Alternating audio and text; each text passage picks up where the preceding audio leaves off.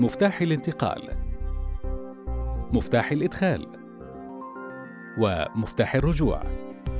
وتحتوي الواجهات الخلفية والجانبية للجهاز على مقبس الشحن مقبس ربط الهوائي اللاسلكي ومقبس ربط وحدة دعم التربة والتي تزرع في التربة لتكون هي المسؤولة عن بث الموجات الترددية الخارجة من الجهاز للأرض.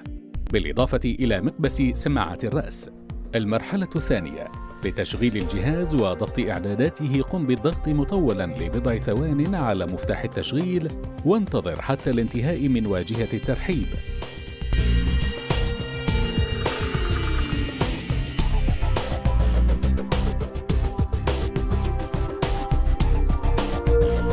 لتظهر القائمة الرئيسية وتعرض مؤشر البطارية. قائمة البحث قائمة الإعدادات. قم بالدخول إلى قائمة الإعدادات للتحكم بمستوى سطوع الشاشة بمستوى شدة الصوت إضافة إلى قائمة اللغات وهي الإنجليزية والفرنسية والعربية. قم باختيار اللغة المطلوبة ومن ثم الرجوع إلى القائمة الرئيسية للجهاز. انتقل إلى قائمة البحث. لاختيار نظام البحث المطلوب بدء الكشف به. نظام الكشف عن بعد. نظام الكشف الأيوني ونظام المستشعر الأرضي. المرحلة الثالثة. قم باختيار نظام الكشف عن بعد لتظهر لك القوائم الرئيسية الأربع للأهداف وهي قائمة المعادن وتشمل الذهب، الفضة، النحاس والبرونز. قائمة المياه وتشمل المياه الطبيعية. المياه المعدنية، المياه المالحة وكافة أنواع المياه. قائمة الجواهر وتشمل الألماس، الزمرد، النيازك وكافة أنواع الأحجار الكريمة. قائمة الفراغات للبحث عن الكهوف والفراغات والأنفاق.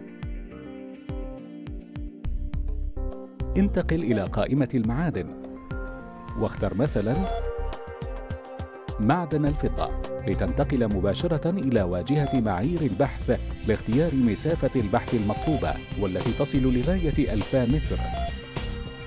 ومن ثم قم باختيار عمق البحث المطلوب والذي يصل لغاية 40 متراً. وبعد الضغط على البدء تظهر لك واجهة جديدة لتختار من خلالها طريقة البحث لنظام الكشف عن بعد. النظام الأول نظام تعقب الخط والذي يتألف من هوائيات الاستقبال. أسلاك التوصيل والتي تربط ما بين الهوائيات وجهاز الاستقبال. قم بتشغيل جهاز الاستقبال واختر من الوحدة الرئيسية نظام تعقب الخط ليتم الاتصال اللاسلكي ما بين الوحدتين. طريقة الكشف والبحث بنظام تعقب الخط.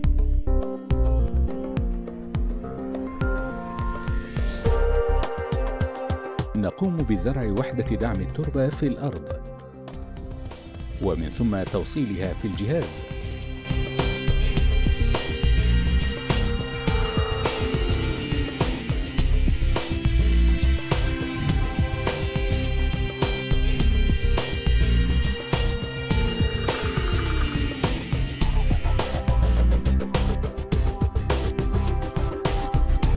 وتوصيل أجزاء وحدة تعقب الخط من خلال ربط أسلاك توصيل الطاقة ما بين الهوائيات وجهاز الاستقبال كما رأينا سابقاً.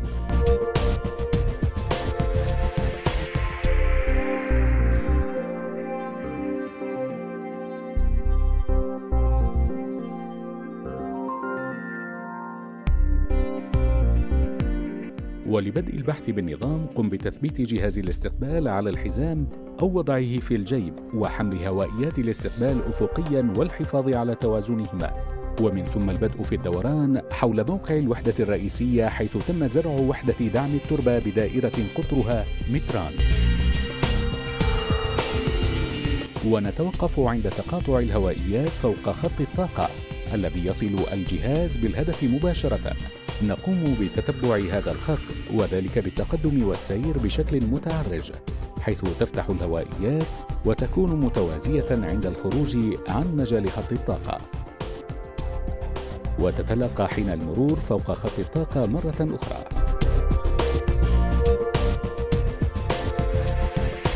وبهذه الطريقة نستطيع تتبع خط الطاقة للوصول إلى الهدف.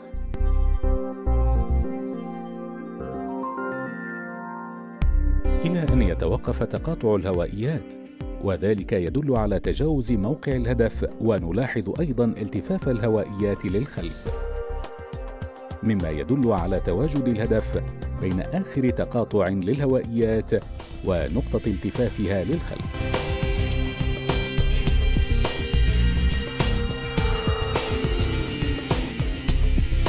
وبهذه الطريقة نكون قد حددنا موقع الهدف من خلال نظام تعقب الخط. النظام الثاني نظام الباحث المحمول والذي يتألف من هوائي الإرسال والاستقبال مقبضي حمل الوحدة المحمولة بعيدة المدى.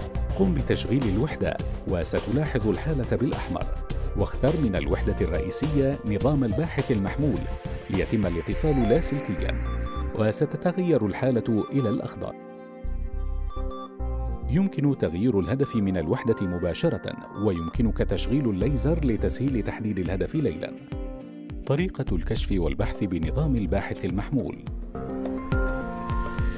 قم بتوصيل الهوائي في الوحدة المحمولة.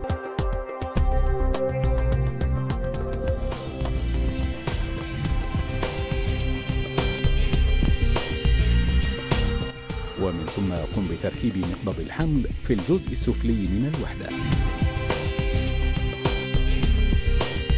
ثم قم بتشغيل وحدة الباحث المحمول وربطها مع الجهاز كما رأينا سابقا. قم بزيادة طول الهوائي لتقوية الإشارة المستقبلة من الهدف.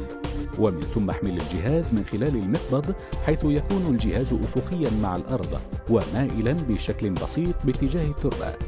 يمكن تحريك الجهاز يمينا ويسارا لتحفيز الموجات المرسلة. قم بتثبيت اليد والدوران حول الوحدة الرئيسية بنفس الطريقة السابقة لتلقي قراءات من الجهاز. وذلك من خلال التفافه نحو مجال الهدف بهذه الطريقة وبأكثر من قراءة.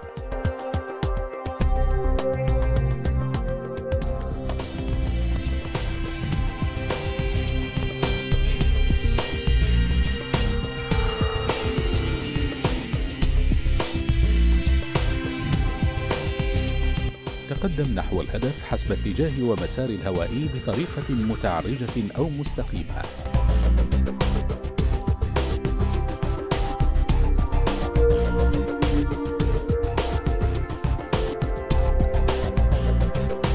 إلى أن تصل إلى مرحلة يلتف بها الهوائي للخلف.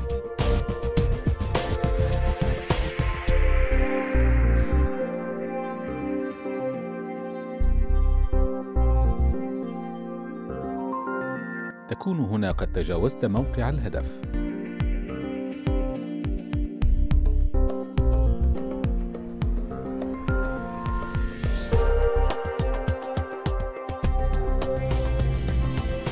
قم بالالتفاف إلى الخلف والمشي ببطء وتوقف عند دوران الجهاز يمينا ويسارا.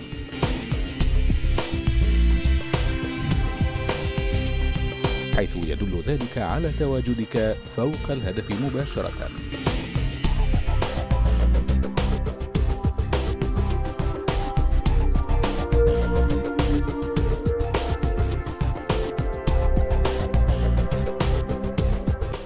النظام الثالث نظام الكشف الأيوني والذي يتألف من المستشعر الأيوني. وحدة الكشف الأيونية وتتألف من مفتاح التشغيل مفتاح التحكم في مستويات الصوت مفتاح المعايرة الأرضية مفتاح تشغيل المصباح مؤشرات البحث الضوئية مؤشر البطارية مقبس سماعات الرأس مقبس الشاحن. قم بتشغيل الوحدة من خلال الضغط مطولا على مفتاح التشغيل.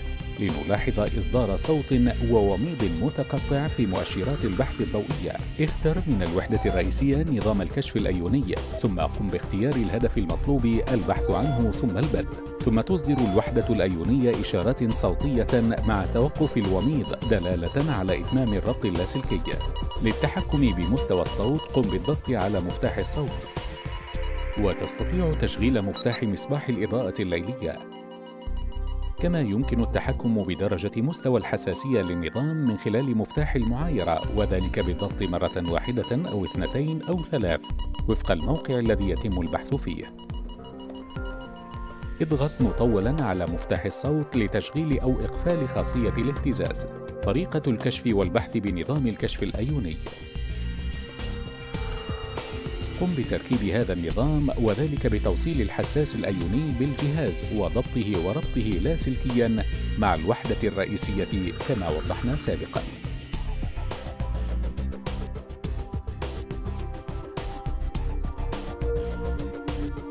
قم بمعايرة النظام مع الأرض إذا اضطررت لذلك. بعد ذلك قم بتوجيه الوحدة الأيونية باتجاه موقع الهدف المتوقع. وفي حالة وجود الهدف نتلقى إشارات ضوئية وصوتية تتصاعد كلما تم الاقتراب من موقع الهدف حتى بلوغ موقع الهدف.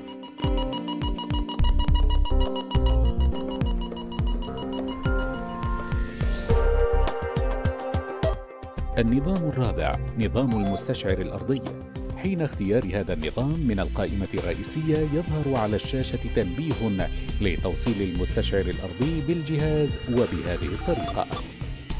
ستلاحظ حين اكتشاف فراغ يتجه المؤشر يسارا بالأزرق. وحين اكتشاف المعادن يتوجه المؤشر يمينا بالأحمر. في هذه الأثناء نلاحظ أيضا الرسم البياني الذي يوضح حجم الهدف وموقعه طريقة الكشف بنظام المستشعر الأرضي. قم بتوصيل وإعداد هذا النظام كما وضحنا سابقاً.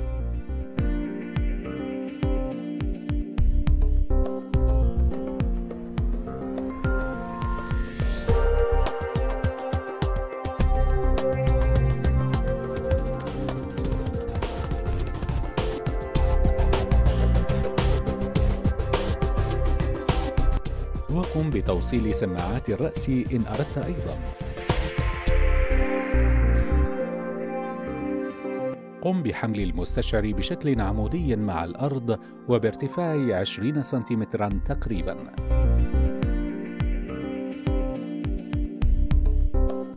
قم بمعايرة الجهاز مع الأرض وذلك يكون بالضغط على مفتاح الإدخال.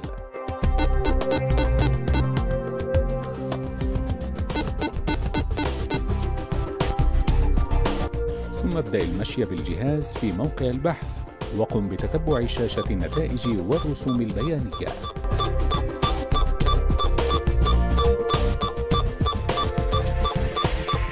وستجد هناك تغيرات في مستوى المؤشرات الصوتية والرسوم البيانية على الشاشة.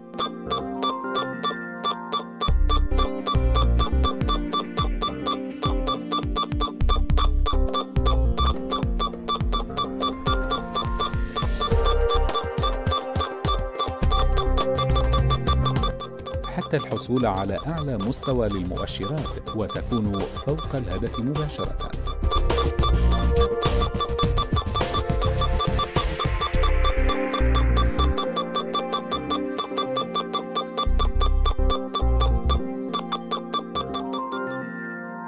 ملاحظة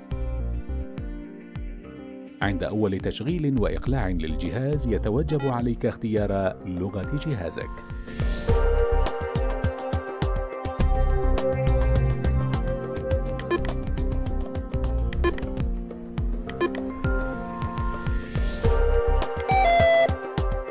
نشكر لكم حسن متابعتكم ونأمل أن نكون قدمنا لكم شرحا وافيا.